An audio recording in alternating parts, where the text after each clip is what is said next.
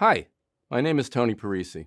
I'm a metaverse and virtual reality expert, and I work as the Chief Strategy Officer at Lamina1. Now that you've learned about ways you can and will be able to communicate and collaborate in the metaverse, we're going to explore the potential implications on the environment. When we talk about the metaverse, a lot of our discussion is what it will be or might be. After all, we're in the very early stages of its development. I believe it could be a decade or more before the metaverse is fully realized. But when it comes to talking about the ecological implications of the metaverse, rather than looking forward, we're going to start by looking back. When the pandemic struck in the spring of 2020, it caused a seismic shift around the world. While first responders and essential workers bravely answered the call to keep critical operations going, including hospitals and grocery stores, millions of people found themselves at home, no longer commuting and traveling.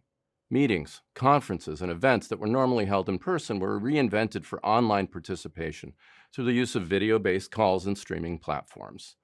Museums like the Smithsonian created digital exhibits. Colleges and universities like Williams College and Pepperdine University developed virtual tours. And entertainers like Billie Eilish and K pop artist WOODZ participated in online performances. A study shared in the National Library of Medicine in the fall of 2020 on the environmental effects of the COVID 19 pandemic showed that it caused huge global socioeconomic disruption, which directly or indirectly affected the environment, like improvement of air and water quality, reduction of noise, and restoration of ecology. In other words, more of us staying home was pretty good for the environment. If the fully realized metaverse is able to provide us with a sense of presence and shared space, it might give us the opportunity to reduce our impact on the environment by giving us options when it comes to commuting or traveling, and that might help to diminish carbon emissions from vehicles and airplanes. It's easy to think about the ecological benefits of conducting a meeting of a large multinational organization online rather than in person, or hosting a virtual global event with video based panels and message boards. But the metaverse has ecological implications beyond just having us stay at home rather than hopping in a car or booking a flight. Digital twins and virtual cities also offer an opportunity to reduce negative effects of construction and design on the environment. And the same is true for scientific research, innovation, and training. Experimenting and learning in the virtual world can be safer, cleaner, and more ecologically responsible. You'll learn more about both architecture and learning in the metaverse later in this course. For those who are able to participate in leisure travel, it's wonderful to get away, to explore new destinations, and to engage with different cultures. Those in person adventures can't be beat. The metaverse will never replace the thrill of having travel experiences in the physical world.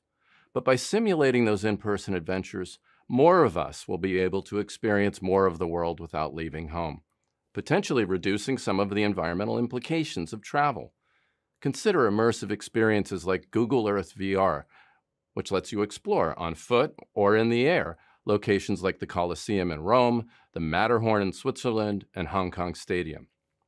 Now, while there are many ecological positives to the metaverse, we also have to talk about the negatives. A 2021 international study conducted by Yale University's Program on Climate Change Communication, in conjunction with Facebook Data for Good, showed that a majority of respondents in every country and territory are worried about climate change. So let's talk about how the metaverse might harm the environment. It takes a lot of energy to make the metaverse happen, from cloud computing to streaming data to blockchain and cryptocurrency mining. You'll learn more about blockchain and crypto in another module, but for now it's important to understand that these activities take an enormous amount of processing power. Metaverse data centers and networks need to be very big and very fast, and the energy required to support them will grow as the metaverse grows, which is why we need to make sure we're building the metaverse and its infrastructure in the most environmentally friendly way possible. One way we can reduce the ecological worries generated by the metaverse is by using renewable energy sources that will help us reduce our carbon footprint at Meta, for example, they've reduced greenhouse gas emissions by 94% since 2017, and in 2021 achieved net zero emissions for their global operations. They invest in enough wind and solar energy to cover all their operations. One of their ambitious environmental goals is to restore more water than they use by 2030. Microsoft is pledged to be carbon negative by 2030 and has a goal of removing all the carbon the company has emitted since it was founded in 1975 by the year 2050.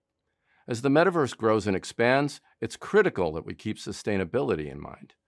While it will give us the opportunity to replace some physical goods with digital ones and to engage in virtual experiences rather than traveling to physical ones, we have to find a way to balance those positives with the very real ecological cost of expanding the technologies that make them possible. Next up, you're going to read about the concepts of decentralization and open source platforms and what those mean for the metaverse.